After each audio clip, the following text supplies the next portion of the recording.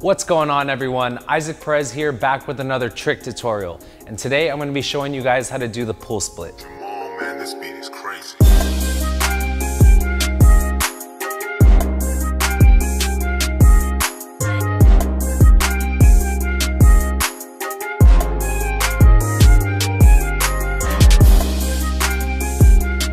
Well, now that that's over with, if you're not already following me on Instagram, I'll throw my username here. And if you're not following Official VGods Instagram yet, I'll throw their username here. The setup I'll be using in this tutorial, my all day, everyday tricking mod, is the Official VGod Pro Mech 2 with the stainless steel Elite RDA. And the juice that I'm using today is Berry Bomb, is just released. It's pretty much a sour strawberry belt, amazing. And if you wanna find any of our products, please check out the link below. Gonna be officialvgod.com.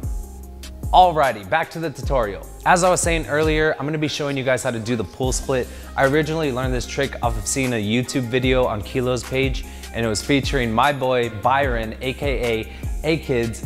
And yeah, he was pretty much explaining how he did it, and ever since then, that's how I've learned, and now it's my turn to show you guys how I do it, which is pretty much the same way. Basically what a pull split is, is when you have an O out in front of you and then you're gonna inhale a little bit of the top of it and then you're gonna pull your hands apart and it's gonna horizontally split into two O's. To simplify this trick a little bit, I'm gonna split it up into three different steps. Step number one, you're gonna need to blow out a decently sized O, so I'd say probably about medium size, which would be about here. The placement of that O should be around chest height. You don't want it too low because you don't wanna have to like bend all the way down to split it and you don't want it too high because you simply won't be able to reach it. Another little tip that I like to give to people is to keep the O completely flat out in front of you and not angled back or down because when you go to pull, it's gonna mess the whole thing up. Now for the second step. The second step is a little more difficult because it's pretty much two steps in one. So what you're gonna do is you're gonna go in and you're gonna sip the top of the O, but as you're doing that, you're gonna come in with your hands behind it as if you were like praying. For this trick, I'd say the sip is the most crucial. And what a sip is, is when you have an O out in front of you and you're gonna inhale the top of the O a little bit and bring your head down with it at the same time to make the O bounce.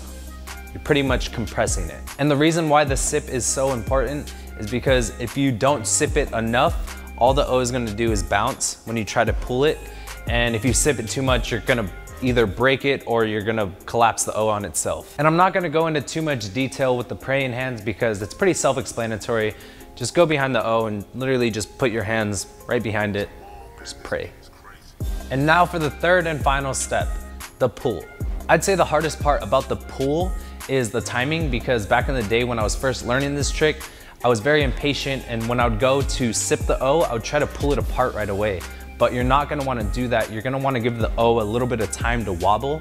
And then once it wobbles and goes horizontal, that's when you should be pulling. So I would say you're probably gonna wanna wait about 0.3 seconds after you sip the O to actually pull it apart. The part of your hand that would split the O best would be the very middle. So the start of your pinky and the top of your palm. So once you have all that down and you're ready to go in for a pull split, one tip that I highly recommend is after you sip the O and you're getting ready to pull it apart, pretty much replace your face with your hands and then it should be ready to go and then we'll pow, pull split. And just keep in mind guys, all the tips that I was explaining before was based off of medium sized O's. So if you blow bigger O's, basically what you're gonna have to do is you're gonna have to sip harder and you might have to wait a little longer to actually pull it apart. And you're gonna have to pull a little bit harder as well. And for smaller O's, it's gonna be the exact opposite. Alrighty, y'all, I think that's just about it for the pull split tutorial. Please let me know down in the comments below what tutorial you'd like to see next because me especially, I love doing tutorials, I love teaching people, and I love teaching them in depth. So let me know guys, and if you haven't already, please subscribe to our YouTube channel, Official VGod down below. I love you all, take care.